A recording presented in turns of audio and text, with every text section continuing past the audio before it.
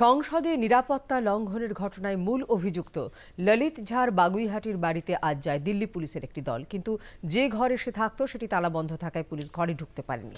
স্থানীয় বাসিন্দাদের কাছ থেকে ললিত ঝাড় সম্পর্কে নানা তথ্য সংগ্রহ করেন পুলিশ কর্মীরা।